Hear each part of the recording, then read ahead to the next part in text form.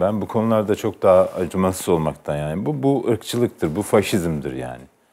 E, siyasi şeylerini ayrıca tartışırım ama bir e, kamu yöneticisinin görevi bütün vatandaşlara eşit yaklaşmaktır. Parti ayrımı gözetmeksizin herkese eşit hizmet etmektir.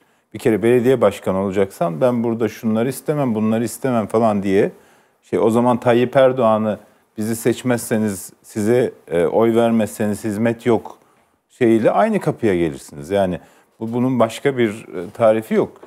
Kadın e, zihnindeki e, ırkçı yaklaşımı, ayrımcı yaklaşımı diline yansıtmıştır.